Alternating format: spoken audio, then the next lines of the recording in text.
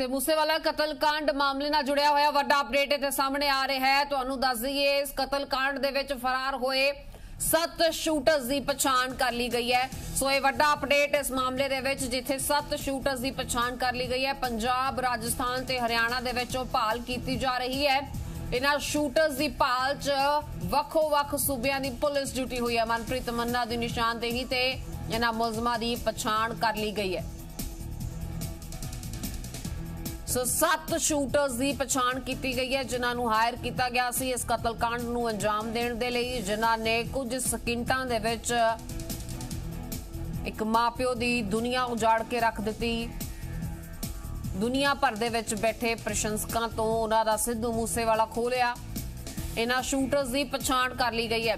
ਸੱਤ ਸ਼ੂਟਰਸ ਨੇ ਜਿਨ੍ਹਾਂ ਦੀ ਪਛਾਣ ਕੀਤੀ ਗਈ ਹੈ, ਵੱਖੋ-ਵੱਖ ਸੂਬੇ ਨਾਲ ਲੱਗਦੇ ਸੂਬਿਆਂ ਦੀ ਗੱਲ ਕੀਤੀ ਜਾਏ, ਪੰਜਾਬ, ਹਰਿਆਣਾ, ਰਾਜਸਥਾਨ, ਖਾਸ ਤੌਰ ਤੇ ਭਾਲ ਕੀਤੀ ਜਾ ਰਹੀ ਹੈ।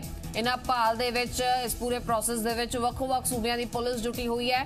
ਤੇ ਤੁਹਾਨੂੰ ਇਹ ਵੀ ਦੱਸ ਦਈਏ ਕਿ ਮਨਪ੍ਰੀਤ ਮੰਨਾ ਜਿਸ ਤੋਂ ਪੁੱਛਗਿੱਛ ਜਾਰੀ ਹੈ ਇਸ ਮਾਮਲੇ ਦੇ ਵਿੱਚ, ਉਸ ਦੀ ਨਿਸ਼ਾਨਦੇਹੀ ਤੇ ਹੀ ਇਹਨਾਂ ਮੁਲਜ਼ਮਾਂ ਦੀ ਪਛਾਣ ਹੋਈ ਹੈ।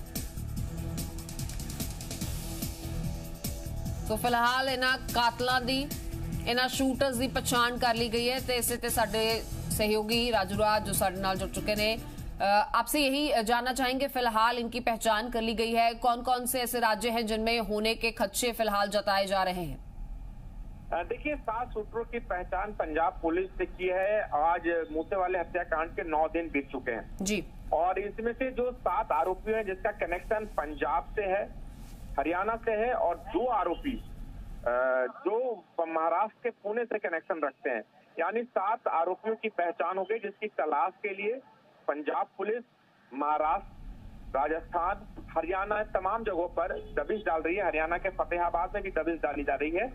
और इसका एक कनेक्शन दिल्ली से भी कर सकते हैं, जो दिल्ली में लॉरेंस बिश्नोई, जो स्पेशल सेल के रिमांड में है, तिहाड़ जेल में बंद था, उसे स्पेशल सेल की टीम ने रिमांड पर लिया है। और उससे पूछताछ में ये भी बातें सामने आई कि कुछ स्कूटर नेपाल भाग चुके हैं और नेपाल में भी स्पेशल सेल की टीम वहाँ पर पहुँची है। स्कूटरों की गिरफ्तारी के लिए दबिश डाल रही है।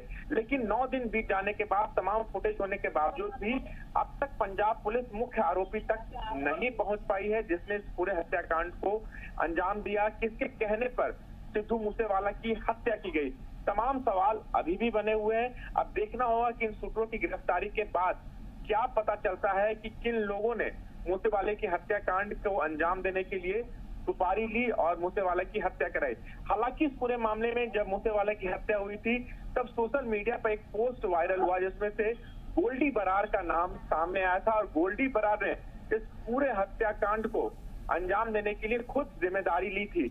और उसके बाद, गोल्डी बरार के बाद लॉरेंस बिश्नोई भी इस पूरे हत्याकांड में शामिल हो सकता है। उसके गुर्गे इस हत्याकांड को अंजाम देते हैं, जिसके बाद दिल्ली पुलिस ने लॉरेंस बिश्नोई का प्रोडक्शन वारंट लिया है। तो कुल मिलाकर नौ दिनों के बाद कुछ शूटर्स की पहचान पंजाब पुलिस ने किया है। अब देखना होगा कि इनकी गिरफ्तारी कब तक होती है और कब तक पुलिस मुख्य आरोपी तक पहुँचती है। जी, बिल्कुल, क्योंकि इस मामले में पूछताछ लगातार जारी है और कई ऐसे नाम हैं जो अभी सामने नहीं है, जिनको कॉन्फिडेंशियल रखा गया है। क्या कुछ और जानकारी है जो अभी सामने आ रही है? क्योंकि इस मामले में देखें तो जानकारी बहुत एहतियात के साथ बाहर आ रही है। वीवीआईपी मामला है सेंसिटिव मामला है, पंजाब में काफ़ी इसकी चर्चा है। देखिए बिल्कुल कुछ और आरोपियों की गिरफ्तारी हो सकती है। अभी इस पूरे मामले में तीन गिरफ्तारियाँ हुई है। जिसमें से मनप्रीत की गिरफ्तारी जो देहरादून से हुई थी एक मनप्रीत को जो पुलिस से रिमांड पर प्रोडक्शन वारंट पर लेके आई थी उसकी गिरफ्तारी की है। और एक गिरफ्तारी आज भी फतेहाबाद से होने की बात सामने आई है सूत्रों के हवाले से। अब इन गिरफ्तारियों के बाद कुछ और शूटर्स के भी नाम सामने आएँगे क्योंकि लॉरेंस बिश्नोई और गोल्डी बरार ऐसे गैंगस्टर हैं जो खुद हत्याकांड को अंजाम नहीं देते हैं बल्कि उनके जो एसोसिएट गैंगस्टर होते हैं, उनसे वो ताल्लुक रखते हैं, उनसे एसोसिएट होकर तमाम ऐसे हत्याकांड को या वसूली के धंधे को अंजाम देते हैं, वो दूसरे शूटर से अंजाम दिलवाते हैं। तो अब देखना होगा कि क्या इस पूरे मामले में किस गैंगस्टर का शूटर इस हत्याकांड को अंजाम दिया। हालाँकि अभी कुछ नाम सामने आए कि गिरफ्तारी के बाद, जैसे इनकी गिरफ्तारी होती है, कई तथ्य सामने आएँगे और कई अहम खुलासे भी सामने हो सकते हैं। जी, बिल्कुल। आप नज़र बनाए रखिएगा। बहुत शुक्रिया फ़िलहाल आपका इस पूरी जानकारी के लिए। ਸੋ ਸ਼ੂਟਰ ਨਾਂ ਦੀ ਪਛਾਣ ਜ਼ਰੂਰ ਕਰ ਲਈ ਗਈ ਹੈ। ਭਾਲ ਦੇ ਲਈ ਵੱਖੋ-ਵੱਖ ਸੂਬਿਆਂ ਦੇ ਵਿੱਚ ਪੁਲਿਸ ਐਕਟਿਵ ਹੈ। ਲਗਾਤਾਰ ਇਹਨਾਂ ਦੀ ਭਾਲ ਦੇ ਲਈ ਛਾਪੇਮਾਰੀ ਕੀਤੀ ਜਾ ਰਹੀ ਹੈ। ਸੱਤ ਸ਼ੂਟਰਸ ਨੇ ਜਿਨ੍ਹਾਂ ਦੀ ਪਛਾਣ ਹੋਈ ਹੈ। ਮਨਪ੍ਰੀਤ ਮੰਨਾ ਦੀ ਨਿਸ਼ਾਨਦੇਹੀ ਤੇ ਇਹਨਾਂ ਦੀ ਪਛਾਣ ਕੀਤੀ ਗਈ ਹੈ।